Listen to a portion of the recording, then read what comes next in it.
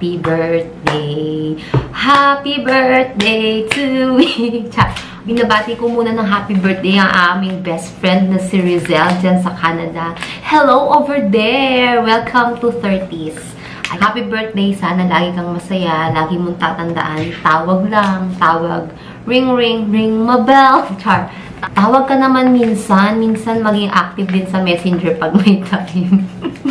Pero alam kong busy ka. Kaya ko rin ang anak ni Joanne David. David. Or mas kilala siya sa pangalang Juju. Ayaw yung tinatawag siyang Joanne. Kasi pag tinatawag daw siyang Joanne, pinapagalitan siya. Kaya Juju lang. Happy birthday kay Grace Andy. Magti 3 years old na siya this upcoming April 10. Happy birthday sa inyong dalawa. Happy, happy birthday! Happy birthday, happy birthday, happy birthday to you. Maligayang bati sa iyong pagsilang. Maligayang, maligaya, maligayang bati. Patsak-patsak! Ayan, ang gulo ng gamit ko. Ching! Naliligpit na ako ng mga pang winter. Nilalabas ko na yung mga pang mga pang mainit. Yan. Yung mga dala ko pang damit. Tingnan ninyo ang gulo. Ilagay ko muna doon yung laman na iba. Tapos yung maleta, galing yan sa taas. So, binaba ko siya dito mag-isa.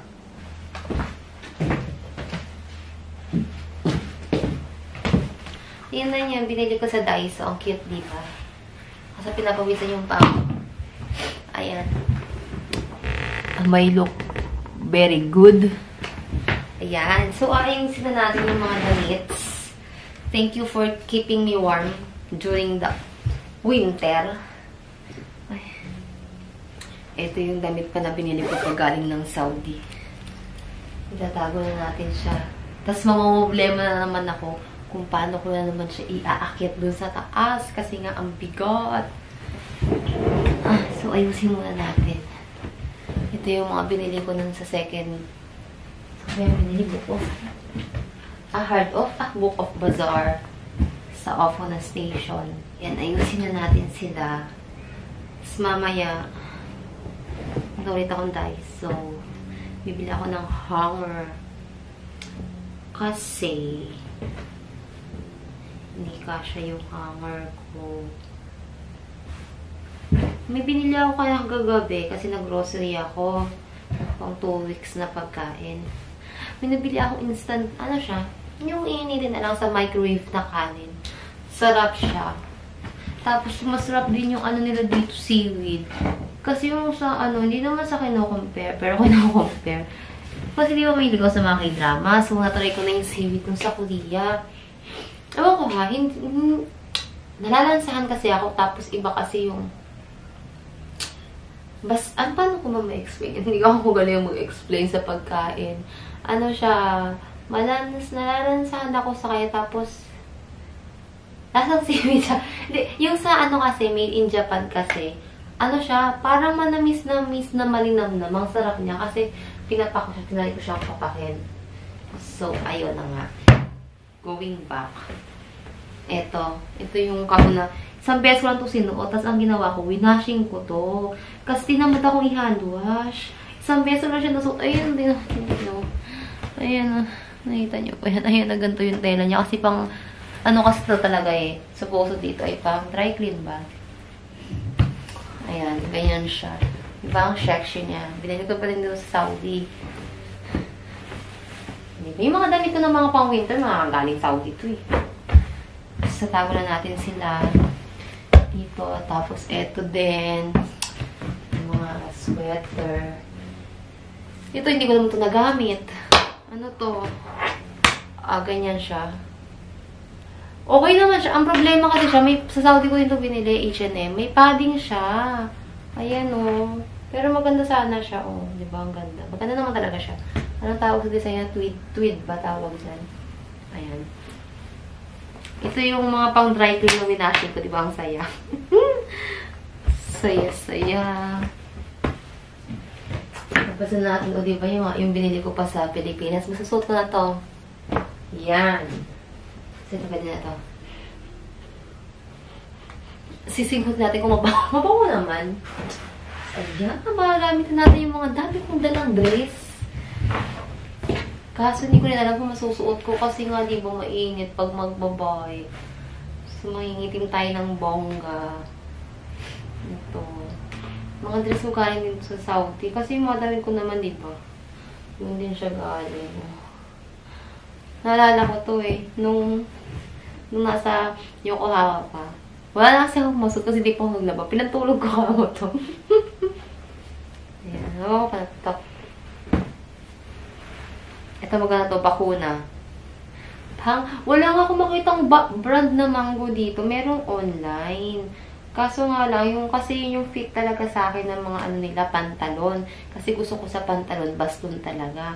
Kaso ang problema, wala akong makita na shop. Merong online kasi yung sizes nila, hindi siya yung 34, 36, 32. Ang size nila is small, X, SS, tsaka medium, large. Kasi hindi ko pa alam. Ito. Mga bakuna. Okay na. Saya. Mabango din to. Ito hindi ko alam kung pang autumn ba to? Yung tela niya kasi nito galong sleeve. Ayan. Hindi ko to nasuot. Pang autumn dapat to eh. Pero pwede rin naman to sa spring. Pero pag sa summer, kainit na ito. So, ilagay muna natin yan. Kasi ito, favorite ko to. Ayan. Polka dots. Mukha lang siyang ano, mukha lang siyang plain pero maganda yan pag sinuot na. Gaganda ka siya. Tapos ito nakita niyo na to eh. Yung cotton na tela na dress din. Di ba? Ang saya.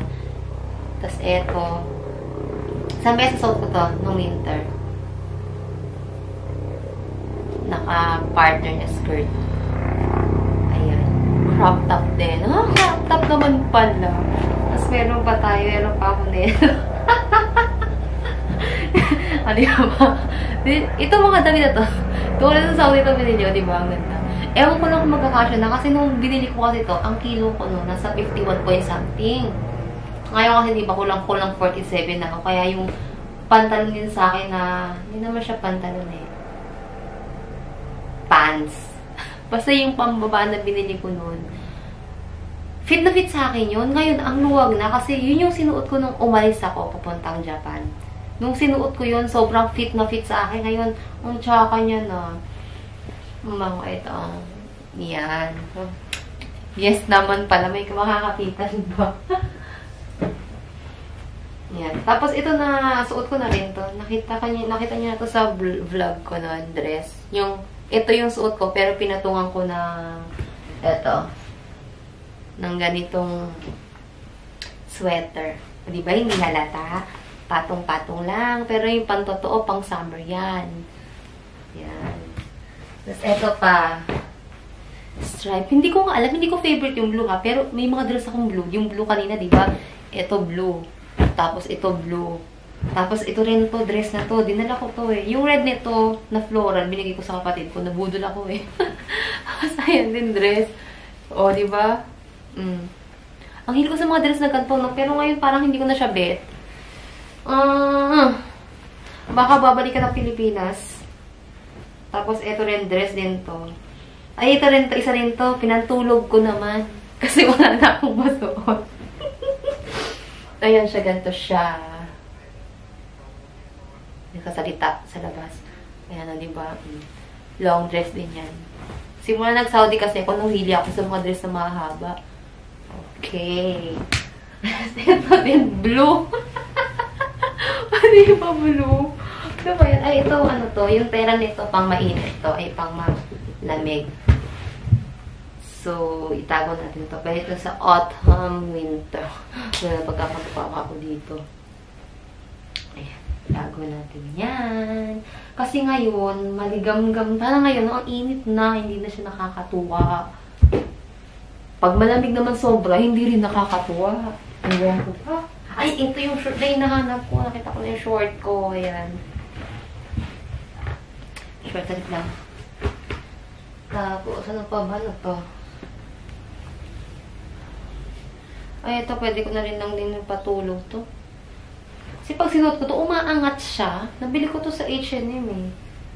Black na ganyan, no, pang loob, kasi umaangat. Tapos, ito yung ones ko lang nasuot. Bili ko to sa Zara. Zara! Ko, gusto ko. Na meron ko itong picture sa Instagram eh. O, di ba ang ganda? Tapos, nag-order pala ako ng damit sa Shein. Shein mabasa doon. Ayoko sa umorder sa Shein kasi nakita ko dati yung mga tela nun. Mga sa ko dati. Ganun yung tela. Hindi ko talaga siya bet. Tapos, eh may nakita ako. Sana maganda. Pero ngayon na in-order ko siya. Hindi ko ba siya in-order? Matagal-tagal. 4? April 4. Tapos ngayong April 9, nasa ano na siya. Nasa Japan na daw siya. Ang ganda. Yes. Dress din yung dress. Yung dress na yun, mahaba din. basta maganda yung maganda guys.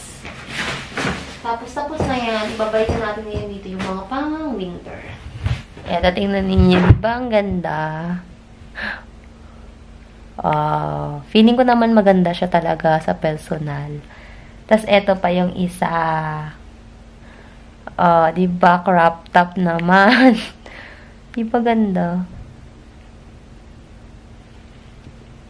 Feeling ko naman maganda siya kasi maganda yung nasa picture. O yung nasa picture lang yung maganda. We will see. May dress din ako dito. Tingnan niyo tong dress ko itong silver. Pambahay ko na lang to. ano? Bakit ko to binili? Hindi ko rin alam kung bakit ko siya binili. Ay, tas eto dala ko dito. Nagulat ako. Sabi ko, may dala pala ako nito. Alam niyo ba kung ano, ano to? Nagulat lang ako sa sarili ko. Eh. Sabi ko, nadala ko pala to. Nilagay ko lang to sa maleta ko. Saan dyan? Inspirasyon. Mga kaibigan. Saan? Di ba? Inspirasyon. Hmm. Pero yung lipstick nila dala ko. Wala ko nga pumunta sa Korean Town. Kaya meron sa Korean Town? Bala kong pumunta. Putla ako, no? Anong oras na ba?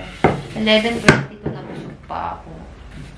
Sige, lagay mo natin sa maleta.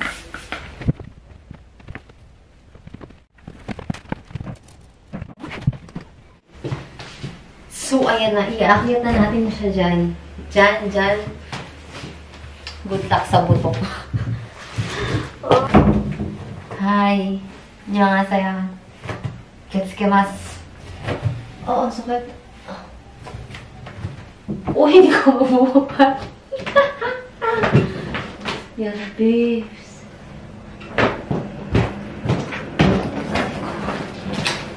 Buwa ko sa buhay ko. Oh, tapos, ano ko ito bubuhatin? Hawak mo na. Paano ko siya binuhat dati?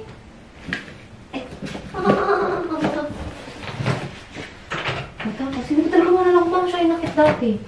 Wait lang. Hindi ko talaga alam kung paano ko siya bubuhatin. Paano ko siya nabuhat dati? Alam ko sumampa ako na. Oo, oo, hindi ka na ako. Oo, oh, ang sakit talaga ng bato ko ay ng leeg ko. Alam ko na kung ba't masikip yung leeg ko. Kasi pinatong ko yung maleta kanina dito sa ulo ko. Oh my God! My neck! Wow, hindi ko siya maakyat.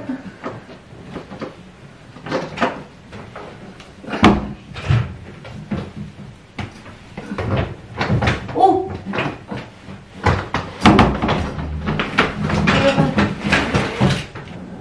How, how, di ka talaga. Yan. Tapos, hangip. Hanggang ganito na kaya kong hangip eh.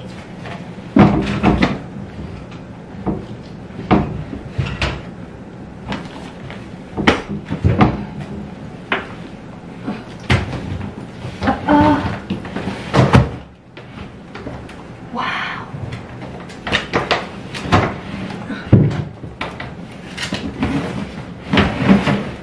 Galing ko, kailangan lang pala bukas yung aircon para may energy. Magagad ako. Mga kaibigan, ang init na. Tingnan ko. Ang init na, hindi na nakakatuwa talaga. Nilagay ko na nga sa rep ng tubig, oh, para masarap. Malamig. Ano ninyo? May pasa ako. Kasi nagpunta ako sa Daiso. Nung pauwi na ako. Meron yung tatlong bike, nadaganan yung bike ko. Ewan ko kung parang bumagsak yung mga bike nila. Tapos sinulungan nga ako ni kuya. Buti may tumulong. Ang problema, nung inaangat ko yung bike, nadaganan yung tuko na, na ganon, nabagsakan. Ayan, pasa, saya. Wow, hala, hindi na kaya. Mag-aircon na ako. Mukhang, alam nyo ba, nalala niyo yung kuryente ko 2,509 na yun? Pero, todo, actually, todo na siya eh. Pero nga lang, yung time na yun, nagdadam, nag-heater pa ako. Kasi malamig. Nag-heater lang ako kapag ka nandito ako sa... Ah, nag-heater lang ako pagka dating ko. Kaya pagka umaga, pagising ko. Pero pag natutulog ako, hindi ako nag-heater. Kasi may kumot naman, kaya malik maligam-gam. Pero ngayon, oh my God, feeling ko mas mataas yung kuryente kasi mag-aircon ako pagdating ko. Pag nandito ako, mag-aircon ako. Tapos pag matutulog ako, mag-aircon ako. Bababa nga yung isang buwan ko na kuryente. Alam nyo kung bakit? Kasi hindi na ako na masyadong nag-heater nun. Ang bill ko na lang sa kuryente ay ng isang buwan is 3,637. To, ang usage details niya is from March 6 to April 5. Isang buwan. 3,637. Malalaman natin yung pagka-summer. Wala pa akong bill ng gas.